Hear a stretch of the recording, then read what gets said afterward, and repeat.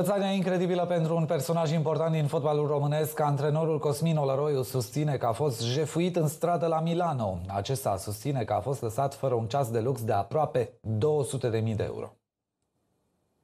Cosmin Olăroiu se afla cu soția în vacanță la Milano. Antrenorul spune că se plimba pe stradă când a fost abordat de un bărbat care l-a îmbrățișat. Individul a reușit să-i fure lui Olăroiu un ceas de 180.000 de euro. Publicația italiană susține că antrenorul nu și-a dat seama de ceea ce s-a întâmplat pe moment, însă la scurt timp a realizat că a fost jefuit după ce bărbatul a plecat alergând. Astfel, autoritățile italiene au deschis o anchetă. De asemenea, polițiștii analizează și imaginile înregistrate de camerele de supraveghere din acea zonă.